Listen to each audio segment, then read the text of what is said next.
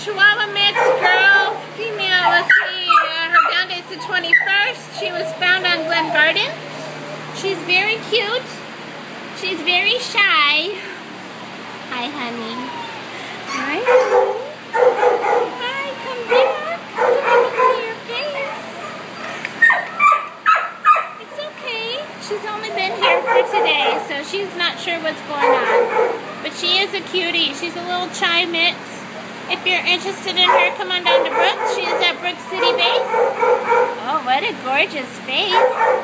You can foster her, or you can adopt her, and she could be spayed and microchipped and sent on her way.